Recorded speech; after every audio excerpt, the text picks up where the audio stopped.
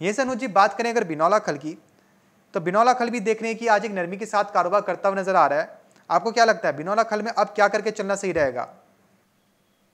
हाँ, देखिए बिनौला खल के रेट काफ़ी निचले स्तरों पर आए हैं। तो हमें लगता है कि अभी कुछ और यहाँ पर प्रेशर रहेगा क्योंकि देखिए तो जो डिमांड है बिनौला खल की वो यहाँ पर कम होती हुई दिखाई दे रही है।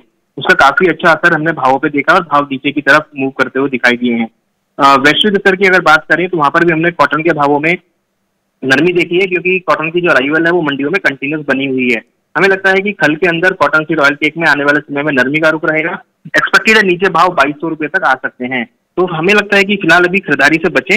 अभी फ़िलहाल में सौ से डेढ़ सौ की नरमी और देखने को मिल सकती है। जी।